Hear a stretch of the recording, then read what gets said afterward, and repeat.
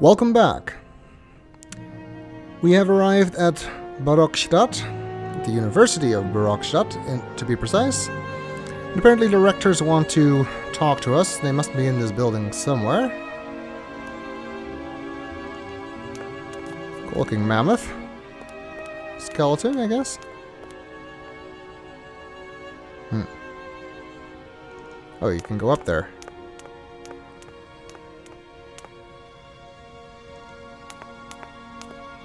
What is up there?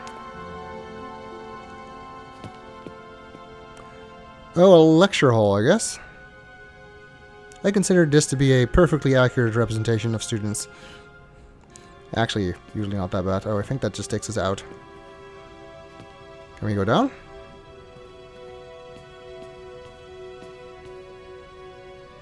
We can. There is, however, nothing here. Like a projector, I guess? Can't interact with it.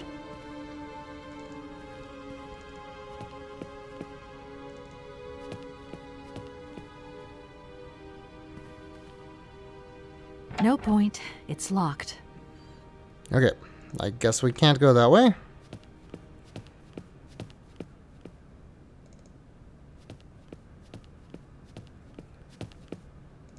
This place looks pretty old, although it's in good condition.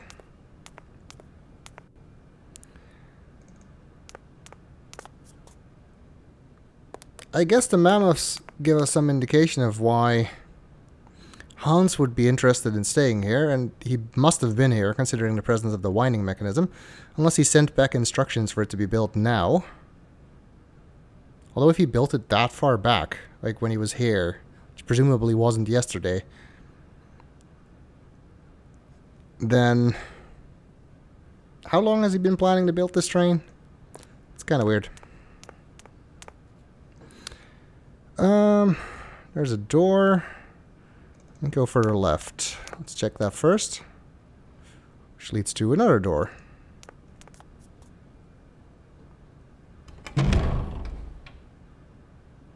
These are very imposing doors.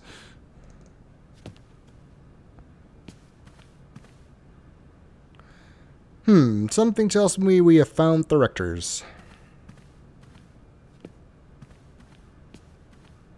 Good day to you, gentlemen.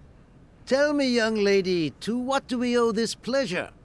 Please do be brief. We do not have very much time on our hands. As rectors of this university, we have serious matters to attend to, and our time is precious. I have heard you wish to meet the owner of the train that is currently in your station. May I know the reason for your summons? We are surprised that your train has not yet left, miss. The situation is most regrettable. The rules do clearly state that trains are meant to come and go and not remain stationary at a platform. Trains should first stop, then subsequently leave. That is the rule. We agree then, dear colleagues, that what we're dealing with is deviant behavior. This matter really is cause for concern. It's a clockwork train, you see? So it needs winding up again.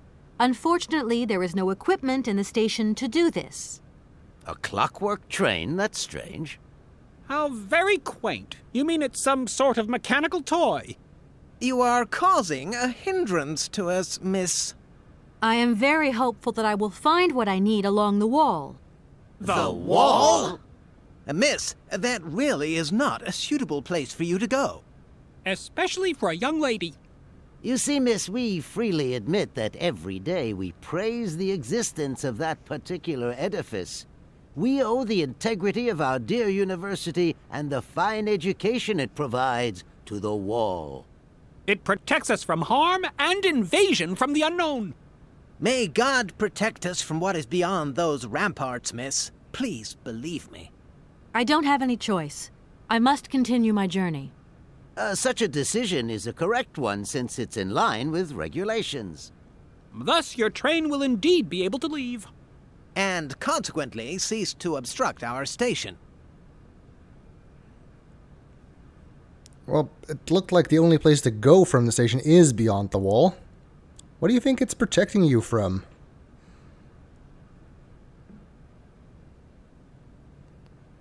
I haven't introduced myself. My name is Kate Walker. Walker, Walker, haven't we already had a Miss Walker?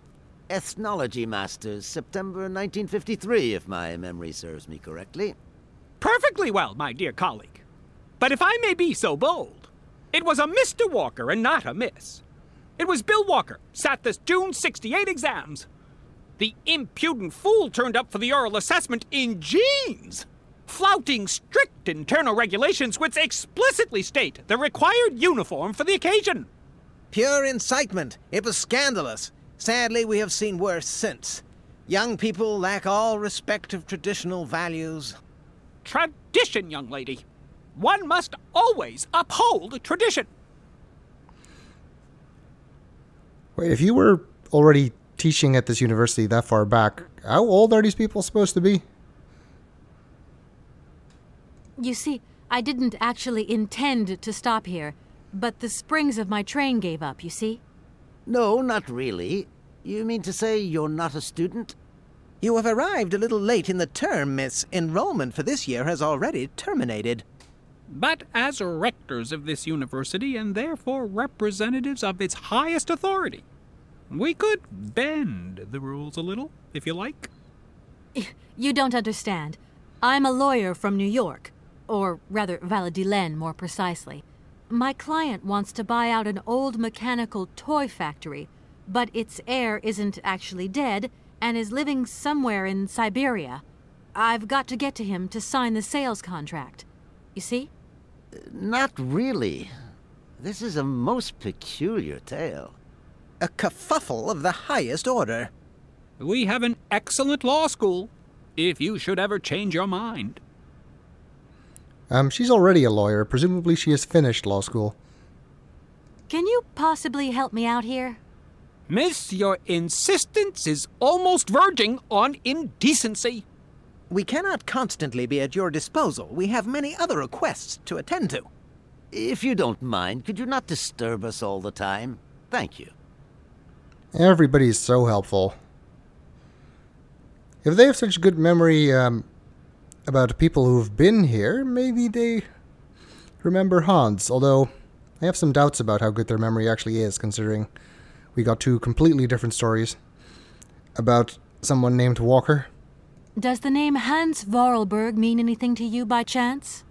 Ah, one of the brightest, most idealistic intellects to have graced our university. Hans Vorarlberg. I remember speaking to him once. I was still a student at the time. He just stared at me, lost in thought for a while. He scarcely ever said a word. But how can one forget him? Idealistic? I'll grant you that. But bright? Oh, don't go too far. He was completely incapable of passing any exams. All he ever did was to sit in on lessons, and not many of them either.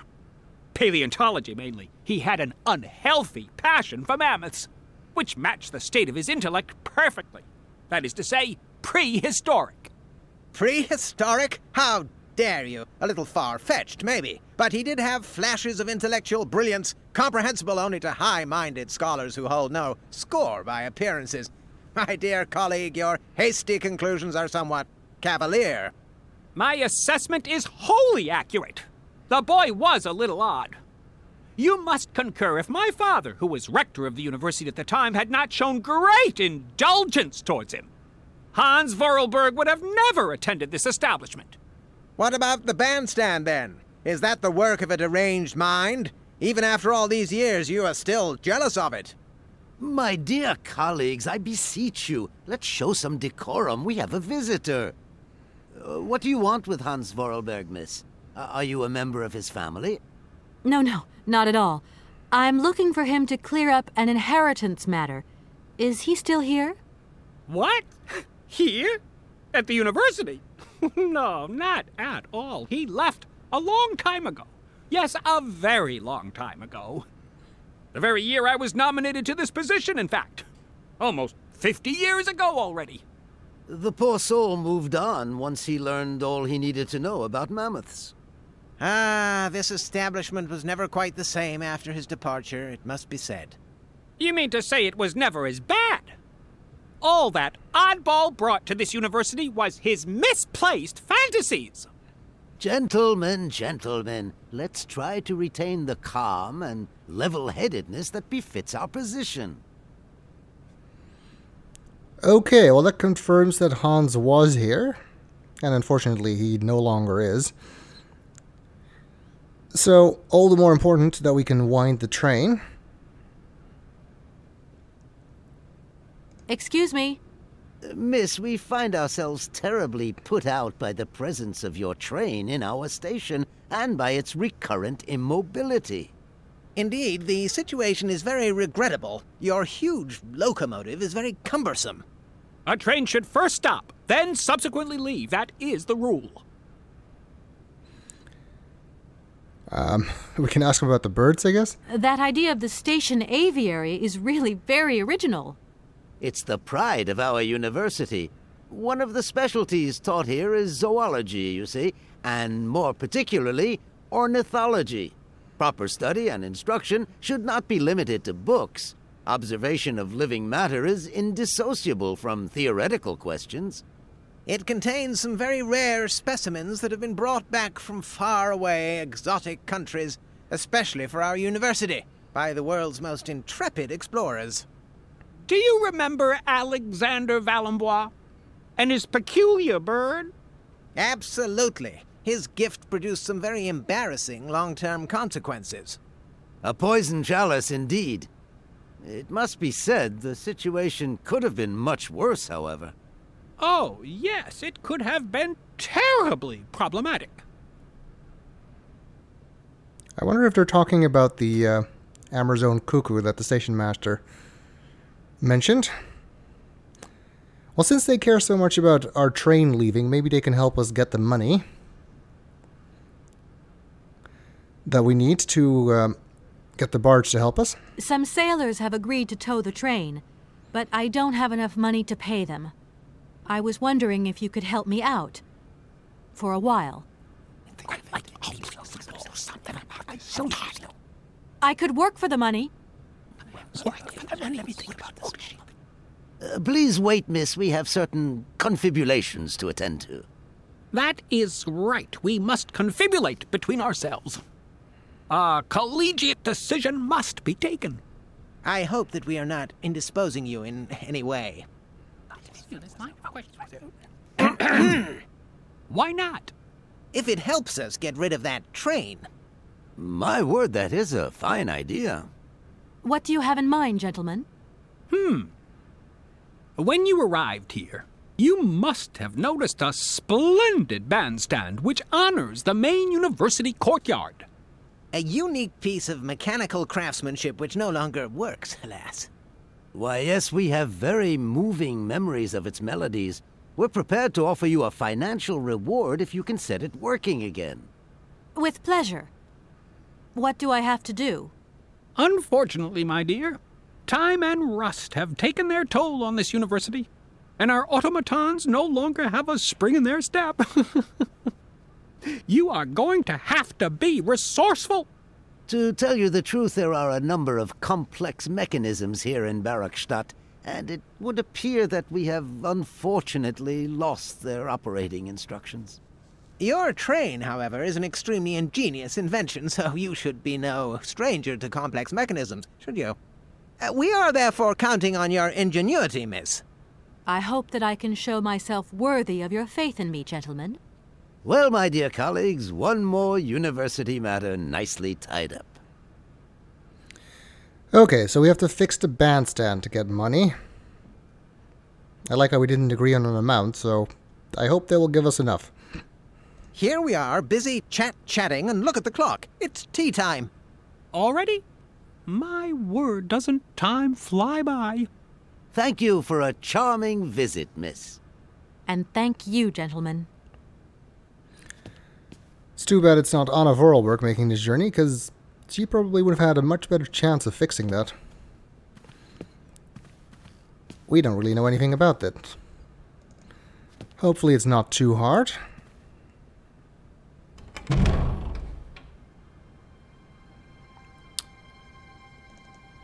Um, let's see. Might as well explore the university. Let's see what's beyond this door.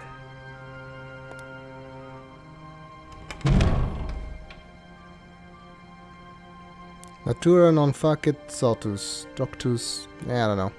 I don't know what it means anyway. My Latin's not that great. Looks like it's a library.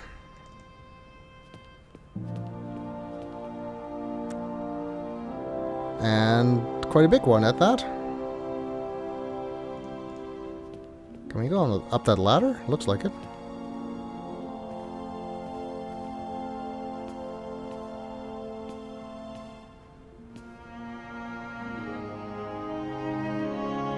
Well, it looks like out of all of these books, Kate is interested in this one, which appears to be up, upside down, I guess.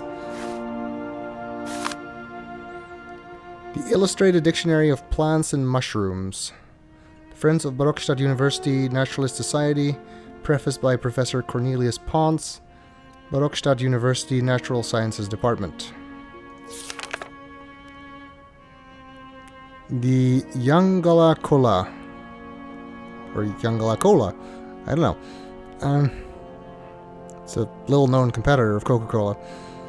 The uh, Youngola Cola is a mushroom without stem that has a chewy texture. This is not an easy to read font. It is a member of the polypore family and grows exclusively on the trunks of certain trees of the Amazonian jungle. Another reference to Sokal's first game. While it is edible when young, the Yangola cola has a woody texture and insipid flavor and offers no great culinary appeal. Native Amazonian tribes, however, are very attached to the mushroom. Why they are so fond of the fungus has taken extensive scientific research to elucidate.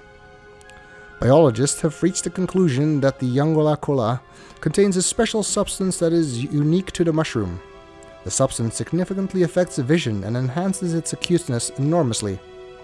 Amazonian Indian hunters discovered this effect and started using it centuries ago. The Yangala cola is dried and ground to a powder and consumed before the hunt commences.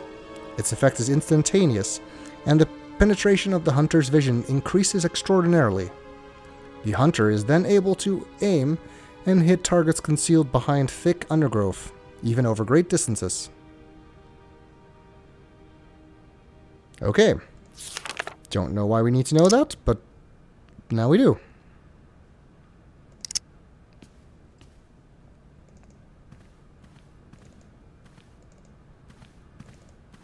Um, Kate does not want to run here. More books. Nothing else we can look at by the looks of it.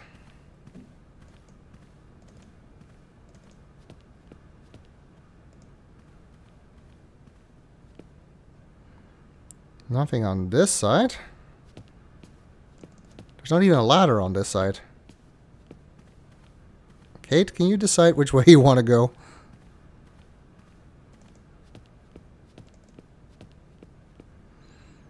Guess we can also go down.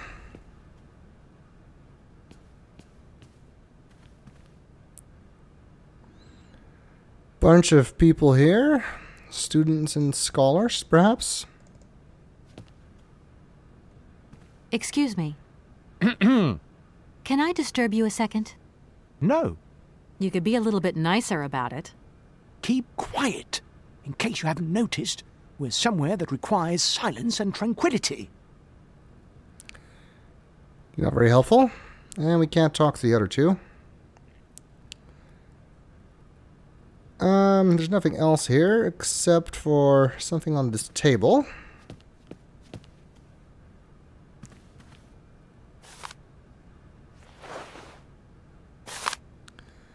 And it's another book about the Amazon. Interesting. Amazon, Memories of an Expedition. Alexandre Valemois. That's the guy the uh,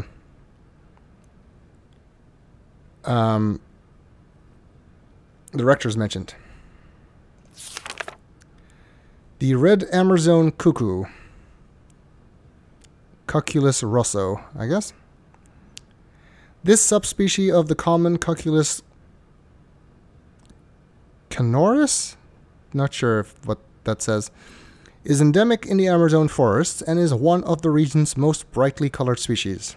The male's plumage is a bright vermilion, while the female's is a little more russet and neutral. I guess that is the bird that is blocking the way to the ladder. At least looks like it.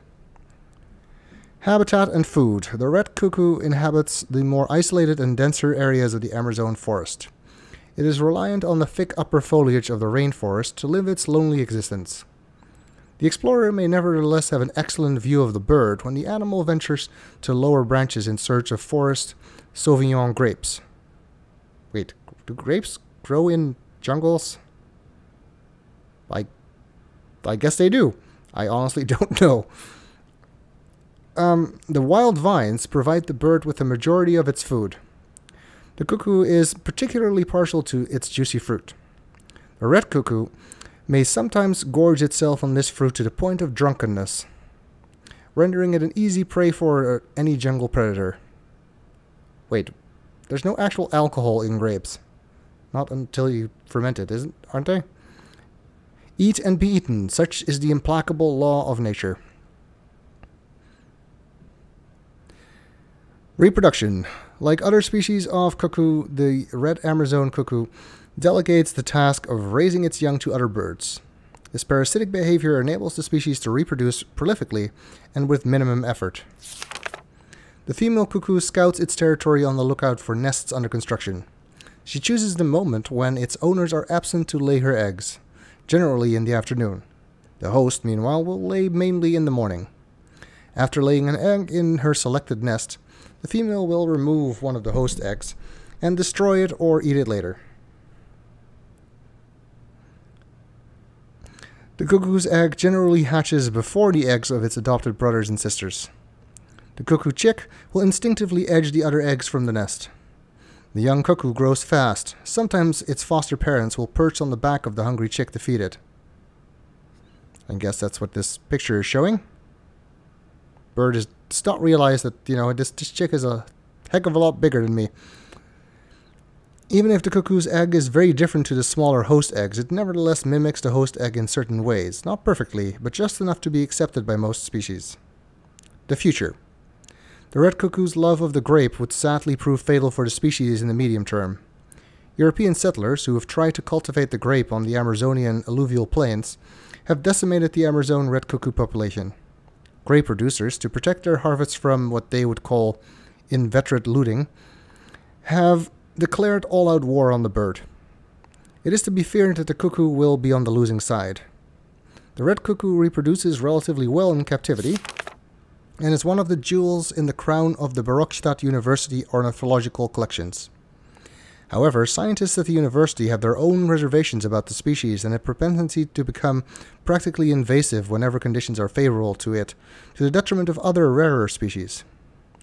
Heads of the Barrockstadt Aviary have therefore undertaken a policy of birth control to attempt to balance out nature's imperfections in this artificial environment. The Forest Sauvignon grape. Today, it is very rare to find the Forest Sauvignon grape in the wild. The species has been decimated by a terrible equatorial phylloxera, phylloxera epidemic. Not sure. However, in Europe, successful cultivation of the plant is the pride of the Barrockstadt University botany collection and has largely contributed to the survival of the species around the world. Okay, I guess the grape is here too, as well as the bird. Fascinating, I guess. Again, don't really know why we need any of that. And now we can also ask about the Sauvignon grape.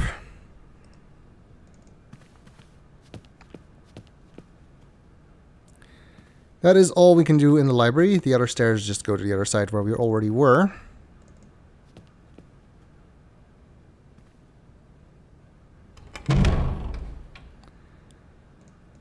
Alright, what else is here?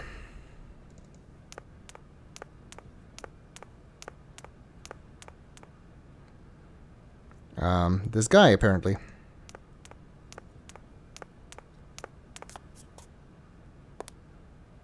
Excuse me. Sir, please, just a moment. Yes, what is it? I'm not deaf, you know. I am sorry to disturb you in your work, sir, but This young Mammuthus primigenius is barely 40,000 years old. Fantastic, wouldn't you say, miss? uh, yes, probably. What do you mean, probably? Uh, I don't know. You don't know? Oh, you, you don't know, I see. What can I do for you, my dear child? Yeah, not our an- area of expertise. To tell you the truth, I don't know very much about mammoths, and I'm not here as a student. In fact, I'm a lawyer. It's all right. Nobody's perfect. All the same, the study of the Pleistocene period is fascinating. I'm sure it is, but I'm sorry to say my current mission is totally monopolizing my time. Um, another time, maybe. Ah, that's what they all say. But anyway, let me present myself. I'm Cornelius Ponce, Emeritus Professor and Lecturer at the University of Barrockstadt. I'm proud to say that I'm head of the Department of Paleozoology at our university. Kate Walker. Pleased to meet you.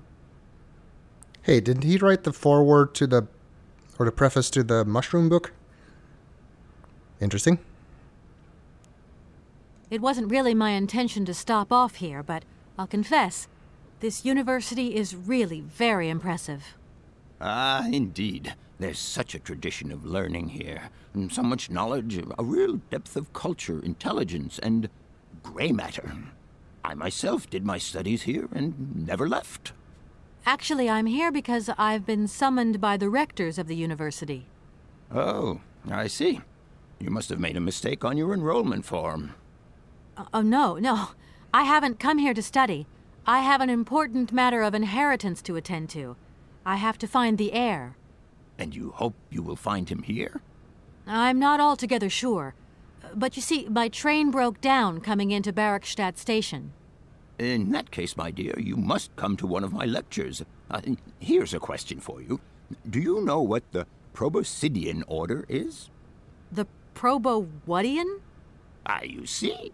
There are gaps in your knowledge that need refreshing. Are you even listening to us at all? I feel I've lost my way a little here. I could really do with your help. Oh, my dear child, you've chosen your moment. I absolutely must finish off my lecture for this afternoon. It's a lecture about mammoths? Oh, yes and no. More specifically, it is about their migration. Do excuse me, I need to concentrate. So isn't the answer then just yes? Whatever. To tell you the truth, I'm looking for Mr. Hans Vorarlberg. He's the sole heir of a very unusual factory. My company is in charge of negotiations for the takeover of this factory. Uh, at last word, he was living in Siberia. So, as soon as my train is ready, I'll be continuing my journey eastwards. Siberia. Ah, Siberia. Uh, But what was it you said again? Said what? You mentioned a name. The person you are looking for. Vorarlberg. Hans Vorarlberg. Do you know him?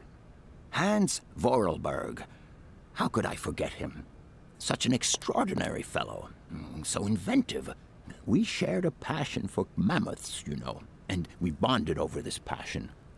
Without it, I confess, I would have had little to do with an odd, ageless retard like Hans. At the time, we were both students.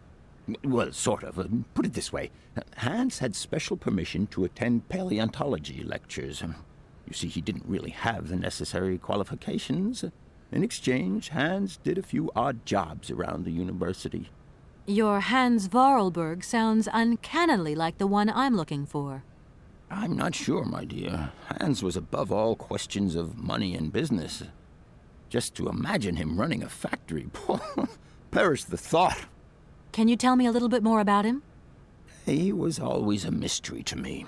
He never said very much, and never quite seemed to grasp what you said to him. He expressed himself instead through his incredible mechanical contraptions. His inventions, I admit, have been much appreciated by the university. The few times we really did talk, it was about his strange interest for mammoths and a doll. Some sort of doll that obsessed him. A doll, you say? Yes, he kept talking about it. One day he described it to me. A sort of children's toy. A miniature mammoth mounted by a mount. It appears he found it in a cave not far from his home. The event all sounds very dramatic. His account was slightly confused, but it awoke a great interest in me. What do you mean? To my knowledge, there is only one tribe who made figurines featuring a mout, and that tribe is the Youkols. They live in the farthest reaches of Siberia, and for them, the dolls constituted a sacred object, illustrating one of their central legends. How such a doll made the journey from the frozen Siberian north to a cave in the French Alps is a mystery to me. Even today, it is beyond my comprehension. Have you considered that Hans Voralberg was maybe making it up? You said yourself he didn't seem to have all his mental facilities intact. No, that's impossible. Hans couldn't invent a story like that. The doll is a sacred part of the Syberia legend. He described it to me in exact detail. Syberia itself is a chimera that paleontologists of the world are very fond of pursuing. Interesting. I wonder if that's where Hans is trying to go then. Tracking down the origins of this doll. I have a feeling that this um, professor might be very interested in seeing that doll. Arriving in Barrockstadt is an amazing experience. I've never seen such a station. Uh, you came by train? Yes, in a kind of clockwork train with a spring mechanism that winds down regularly. You mean you drive a train? Young ladies of today never cease to amaze me. Oh, no, I'm not the engineer. The train's engineer is actually an automaton. I am sorry, all this probably sounds very strange. A clockwork train, driven by an automaton. I once knew a man long ago who could have invented such a train. It was he who designed the bandstand in the main square. Ah, to think that he was even capable of creating such a gadget. He was astounding, a true genius. But oddly, at the same time, he was also almost a child. It was as if his mental and physical evolution had definitively halted at the age of ten. Can you believe that? Uh, yes. I think I can believe that. At least I'm beginning to. Yes, of course, that's Hans. Uh, we already talked about him, so. My train stopped in a peculiar aviary. It's very odd. A lot of bird species seem to seek harbor there. Ornithology is far from being my favorite subject, but I must concede that the station is the pride of the university. It was initially intended for teaching purposes, but then birds started arriving from all around the world. it seems that there are still rare species breeding there and flourishing. Are there? Can you give me an example? Hmm. I have been told about a kind of bird with peculiar habits. Let's see now, the, uh, mm, the Amazon cuckoo. That's right. But, uh, oh, I'm so foolish. I can't remember what was so special about it. Just that its behavior is very peculiar. The Amazon? Where's the Amazon? W- what is the Amazon? I'm sorry, my dear, but one cannot learn everything in a lifetime. Specialization is the key to real knowledge. Now, Why don't you pay a visit to our library? Thank you very much. I already did that. He just really wants to plug his old game, doesn't he? If I were to say Forest Sauvignon to you, what would you say? Oh, let's see.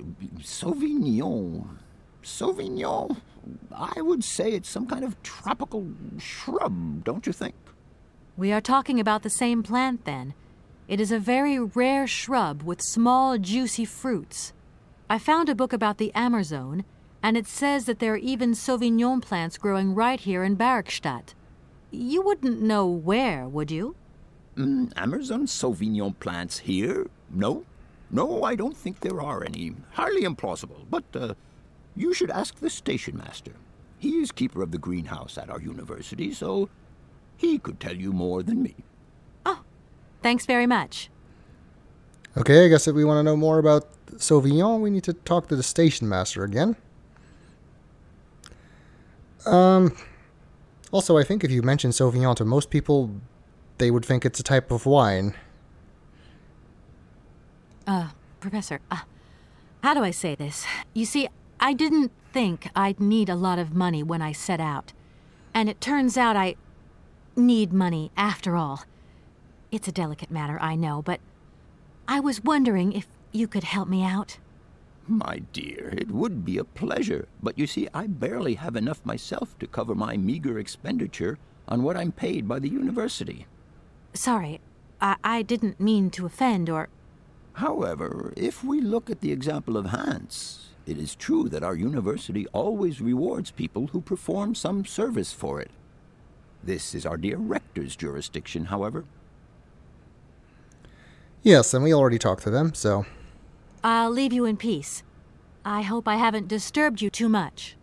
Sorry? No, no, no, not at all, my dear child. Alright, um, that was kind of interesting. Learned a little bit more about Hans and what he was doing here. And we'll continue in the next video.